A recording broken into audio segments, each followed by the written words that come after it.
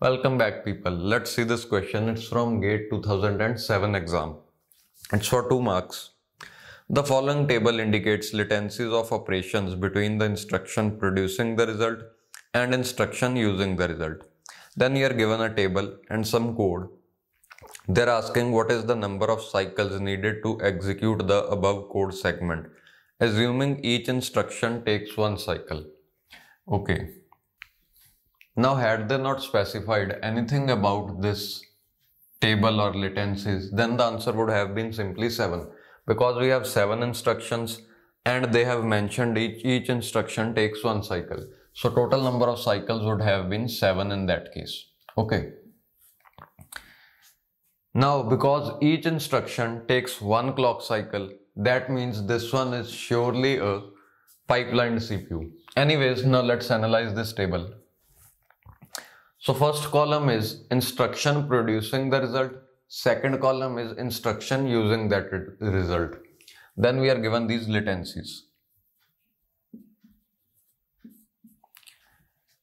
So this means if there is a ALU operation that produces this result X, then there is a ALU operation which consumes or uses that result X. According to question, between these two instructions, there has to be a latency of 2. That means there has to be two clock cycles between these two instructions.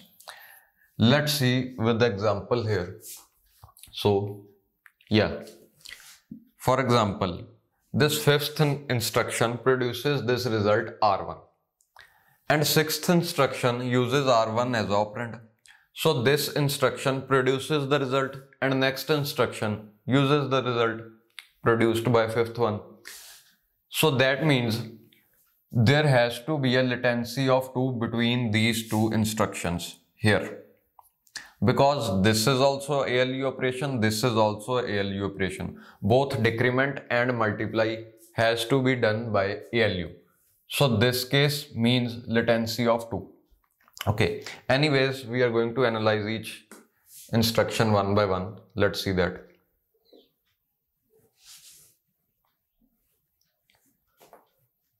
So first one is a load instruction. That means we are loading value from location 1 into the register R1. Okay, so this is going to take one clock cycle. Second instruction is also going to take one clock cycle. Then you can see there is no dependency between instruction 1 and instruction 2. Now let's see instruction 1 and 3. Instruction 1 says load R1, instruction 3 says add R1 comma R2. So there is a dependency between these two because the value produced by instruction 1 is R1 and that value is being used in instruction number 3. So there is a uh, dependency between 1 and 3. Now this is load, this is ALU. Load and ALU operations need to have a latency of 1. Okay.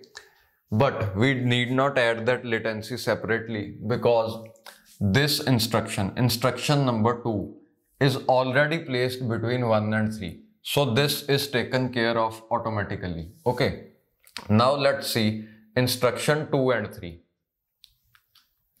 So between this instruction 2 and instruction 3, there has to be a latency of one clock cycle because this is load and this is ALU, load and ALU.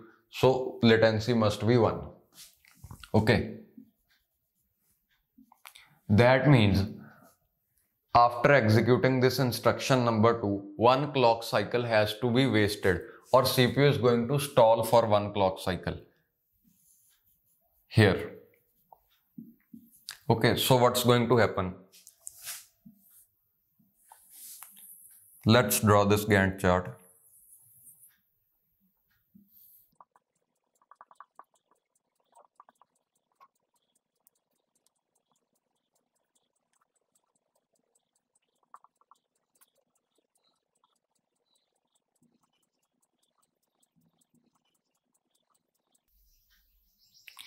So there has to be a latency of 1 between 2 and 3. We have added that latency by making CPU stall for one cycle. Okay. Now let's analyze the fourth instruction that is decrement R2. Instruction number 3 produces this result R1 and this uses the register R2 so there is no dependency okay because result being produced here is not used by fourth instruction let's analyze the fifth one fifth instruction says decrement R1 now R1 is produced here and is used here. That means there has to be a latency between these two instructions. Now this is a ALU operation as well as this is also a ALU operation. Now you can see between two ALU operations, whenever there is a dependency, we need to have a latency of two clock cycles. That means there has to be a latency of two and one clock cycle is used in executing this instruction so we only need to add a latency of 1. Okay. So after 3 you can execute 4. Then after 4 you have you need to have a latency of 1 clock cycle. So here CPU is going to stall. Then you can execute this instruction number 5.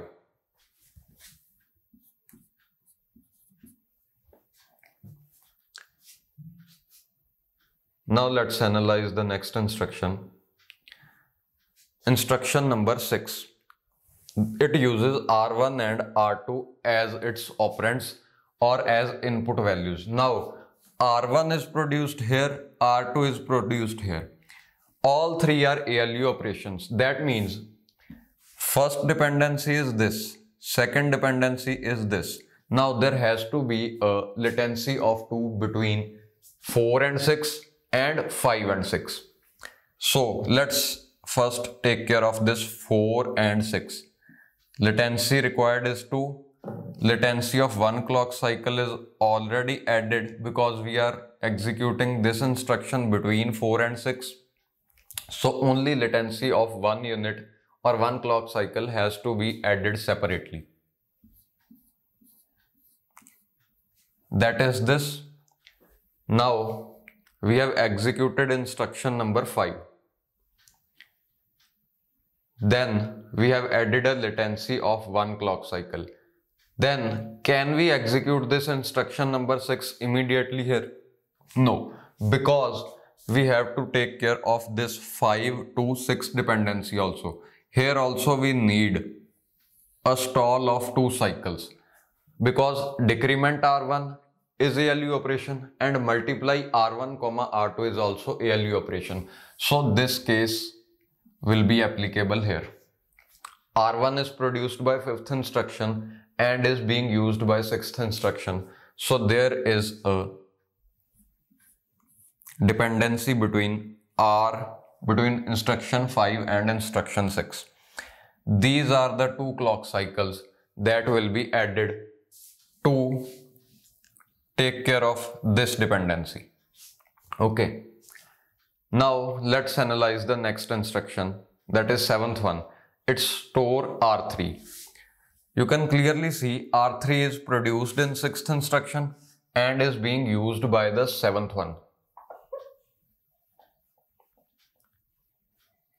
Now ALU operation and store operation need to have a latency of two clock cycles between them. That is between 6 and between 7 there has to be a latency of two clock cycles. Okay so first execute instruction number 6 this is i6 then there has to be a latency of 2 units or 2 clock cycles. Then we execute instruction number 7 so how many clock cycles in total are being used to execute this code?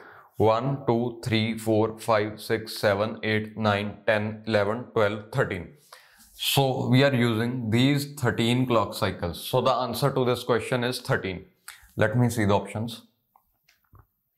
Yeah option number c 13 options are 7 10 13 and 14 so this is the correct option. Okay. Now, one more thing is there might be a dependency between instructions that are very far away. For example, there might be a dependency here. Load and decrement. This one is produce, uh, producing the value r2 and this one is using the value r2 but in the question you can see load and ALU operation load and ALU operation they need a latency of one clock cycle only so this is automatically taken care of because instruction number 3 is added between instruction number 2 and 4. So you need not add this latency separately. Okay, that latency is created by our code itself. Okay. So let me find one more example. If there exists such a scenario I don't think so. Okay, anyways, you can analyze it. So the answer to this question is 13. This is the Gantt chart. These are the instructions that are executed and these are the clock cycles. Okay, I'll see you in the next video.